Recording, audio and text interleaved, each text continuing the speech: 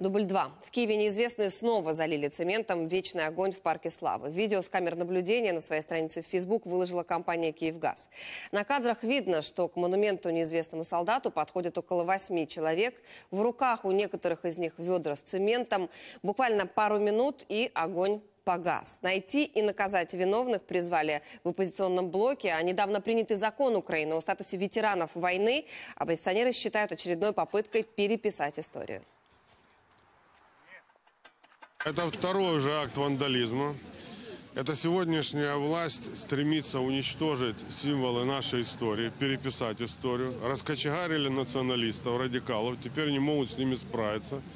И сегодняшняя ситуация это просто безобразный акт вандализма. Естественно, мы восстановим вечный огонь, но это не последний случай, поскольку вот недавно приняли, э, казалось бы, неплохой закон о помощи инвалидам, но вписали туда то, что обидело ветеранов и очередная попытка переписать нашу историю. Убрать термин «Великая Отечественная война», то, что свято для наших ветеранов, для людей, которые ценят свою историю.